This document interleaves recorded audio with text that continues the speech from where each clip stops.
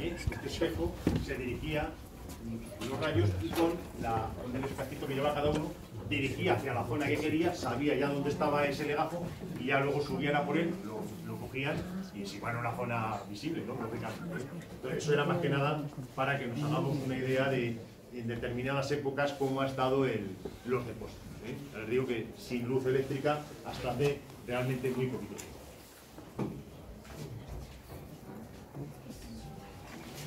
Pasamos aquí, ya estamos dando toda la vuelta. Estamos en la otra que Vaya una, manual más chula, Ya ¿eh? la he visto. ¿Qué tal? ¿Lo he visto? Sí.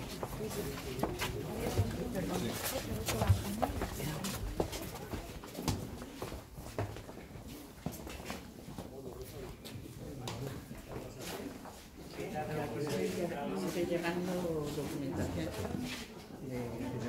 de, todos los mandos, ¿no? Ahora, dos, ahora.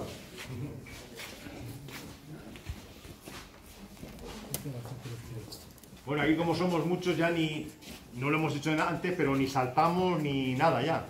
Si nos damos cuenta, esto se mueve. Se mueve. ¿Eh? Entonces, no, no hacemos cosas, vamos despacito por aquí, que somos muchos. Bueno, lo que ahora aquí me preguntaba si sigue llegando documentación. Aquí sí, esto no es un archivo cerrado, sigue dando documentación. Hay una, lo que llamamos transferencias todos los años. ¿eh? La documentación del militar, cuando un militar fallece o pasa a retirado, su documentación termina viniendo aquí, pero tiene un procedimiento. Primero, está en la delegación de defensa de, de su ciudad, por ejemplo aquí en Segovia. Cuando ya se retira, pasa al cuartel general del ejército, ahí está cinco años en una oficina determinada, que es un centro de control de datos, o se llama más o menos, y luego pasa al archivo intermedio del cuartel general, que eso está en Paseo Moret, a, a la entrada, en Moncloa, a la entrada de Madrid. Y ahí se tiene, tiene que esperar la documentación durante 20 años. Al archivo histórico, al ser un archivo histórico, no puede venir ninguna documentación, entre comillas ninguna, ninguna documentación antes de los 20 años. ¿Por qué? Porque tiene que esperar, porque habrá muchas, eh, bueno, muchas, habrá cuestiones administrativas. Un señor se ha retirado, pero resulta que no le han, le falta no sé qué y lo quiere que aparezca en su hoja de servicio. Entonces lo pide, no lo va a pedir al archivo histórico, lógicamente lo pide al cuartel general, que es donde está su documentación durante un tiempo.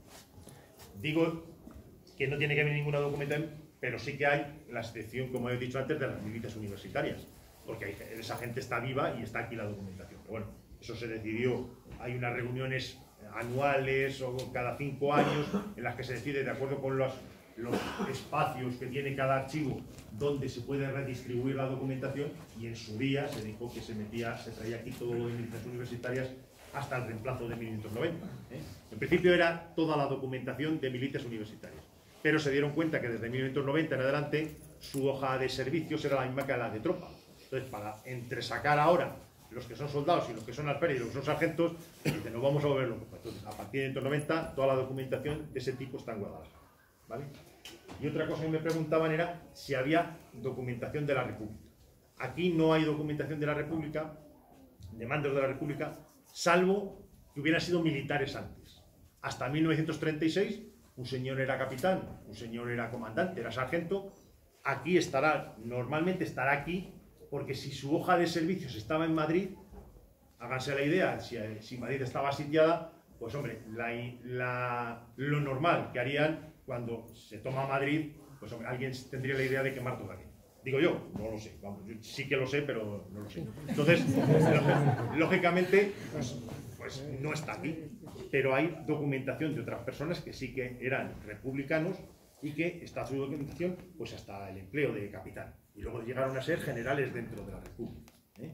O sea, ojo, hasta el empleo de capitán que estaban en la República. ¿eh? Vamos a hablar con corrección. O sea, esto era la República hasta el 36 y aquí está la documentación, lógicamente. Lo que pasa que a partir del 36, como ya la República no, no tiene control sobre estos archivos, pues, lógicamente ya solo está lo de la, la zona nacional o como le quieran llamar. ¿De acuerdo? Eso es. ¿Dónde está lo de la República? Pues está en el Centro de Historia, de Memoria Histórica en Salamanca, hay documentación. También hay documentación en, el, en Ávila, porque como comentaba, está, eh, Ávila es otro de los archivos nacionales y ahí está todo lo de operaciones, diario de operaciones de la guerra civil. Entonces, ahí puede haber también alguna cosa. ¿eh? Pero lo normal es que no, aquí ya no, no aparece. Bueno, lo que quería también comentarles, aquí hay una pequeña exposición temporal que se va haciendo. Nosotros hacemos, celebramos el Día Internacional de los Archivos. El día 9 de junio es el día, está institucionalizado como Día Internacional de los Archivos.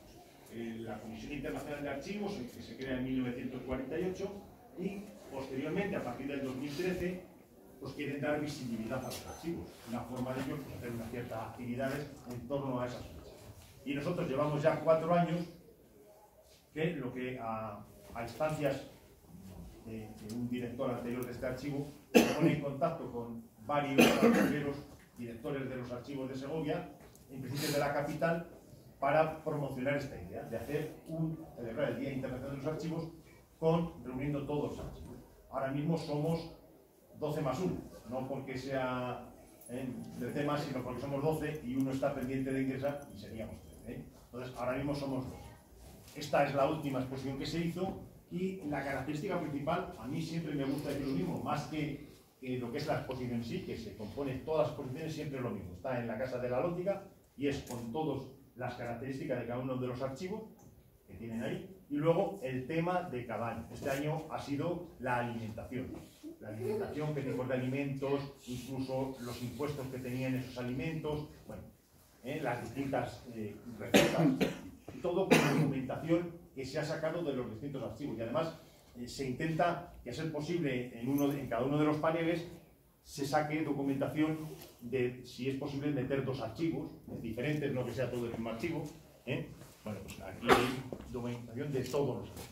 Pero lo que más, creo que tiene mayor importancia es el hecho de que se han podido coordinar y poner de acuerdo esos 12 archivos. Está, por una parte, el estamento militar, por otra parte, el estamento eclesiástico, por otra parte, el estamento político con los distintos partidos, porque como hay de todo, pues de todos los y se ha podido poner de acuerdo y coordinar y llevamos, ya les digo, cuatro años haciendo esas exposiciones. Lo que se hace es una exposición y también una conferencia. Se hace la exposición, unos, unos días de puertas abiertas de todos los archivos y una conferencia el año pasado, por ejemplo, que la dio José María el restaurador y José Ubaldo, que es un profesor de, de la UNED, eh, especialista en temas de